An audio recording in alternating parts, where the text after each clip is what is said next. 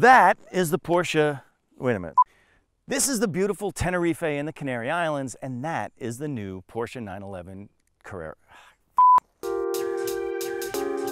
That is the new Porsche 911 Carrera S, and yes, it looks a lot like the last Porsche 911 Carrera S. But it's not. This is the 2017 Carrera S, codenamed 991.2 if you follow Porsche's body codes. And you may have heard it has the most significant engine update since the very first water cooled 911. Displacement's getting smaller, and number of turbochargers is going from zero to two. Yes, there are snails in the garden, and some people may think that's like turbocharging a Brazilian supermodel or a Hershey bar or London Calling, but is it really messing with perfection? Is what I would ask if I were a complete dick. The truth is, the 911 Carrera is still such an important sports car that every time they change something, you kind of hold your breath. You think, is this when Porsche finally snuffs out the magic so they don't scare away all the dentists? The car we're driving today has a seven speed manual transmission. You can still get one of those. Yes, good for you. It's also painted in Miami blue, Porsche's new take on an old Volkswagen color from the 70s. It does photograph beautifully up against the lava fields of Mount Teide, the volcanic epicenter of Tenerife, one of the Canary Islands. That's a Spanish tax haven off the coast of Morocco where Porsche held the 911 launch. The last time Teide erupted was in 1909, but this giant slumbering beast just won't sit still. You can tell because the roads up here are spectacular, but the pavement can be corrugated and a bit lumpy. And that's okay because the new Carrera's active suspension tune is more compliant in the softest setting and a little stiffer in the stiffest setting. We kept the dampers in normal because I think they're just about perfect that way. We should mention Porsche's active chassis now comes standard on all Carreras. It's also got more tire. The S has these massive 305s in the rear, and so saying this is the most firmly planted Carrera ever with the best body control calibration in 911 history is tempered only by the fact that you can still buy more stuff, like the even lower PASM Sport and those counter actuated PDCC anti sway bars, stuff that could make it even better like the influence of the 918 on this car. Yes, the steering wheel is almost right out of the 918, and this new radial mode selector, also right out of the 918, takes away some of that viral proliferation of buttons here. I know you want to talk about that new engine, but let's enjoy the manual transmission for another minute because who knows when it'll go away. This one has a new twin disc clutch to handle the torque load, the pedal is light and feathery, but easy to modulate. It's like stepping on an angel's wing in ballet slippers. But on roads like these, you'll just be keeping it in third gear anyway. In fact, from third gear on, the ratios are progressively taller than in the previous Carrera. Nerd point, they're the same ratios as the Turbo S, only with a shorter final drive. Of course, because we didn't drive a car with PDK, we didn't get the electronic differential, an excellent piece of machinery, and we also didn't get rear steer, which is now an option on the Carrera S. Those two items are important to mention because they give you two opposing traits at once, like you can have an open diff for stability and a locker in mid-corner, and you can have a long wheelbase on the highway and an effectively shorter one on a mountain road.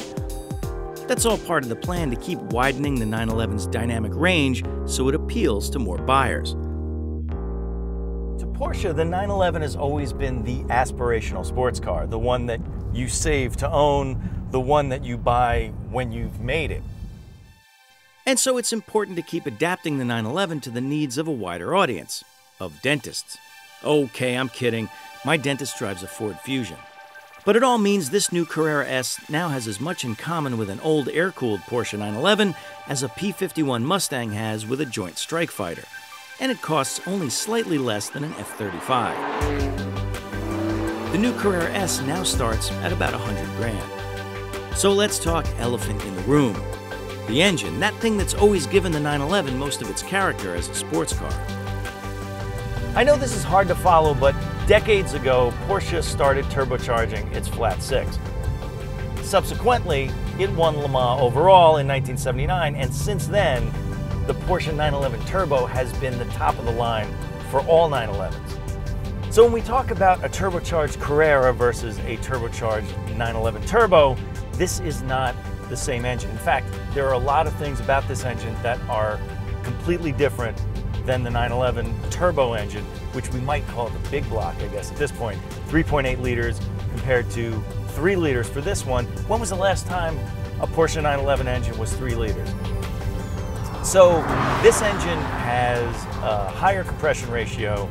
Also, having hit a hard stop at 4 liters, they kind of had to go to turbocharging to get specific power output up to the point where we are now, which is 370 horsepower for the base model, 420 for the S. Now for a 3 liter, that's actually pretty damn good. But if you thought the combination of small displacement, small turbos, and a comparatively longer stroke boxer would make this a stump pulling torque monster of head snapping proportion, you'd be mistaken. You can tell the engineers wanted to keep the traditional 911 feel and character, only with a power band compressed into a shorter rev span. Power builds all the way to its peak at 6,500 RPM, but revving a thousand more still feels natural, a testament to lower friction internals.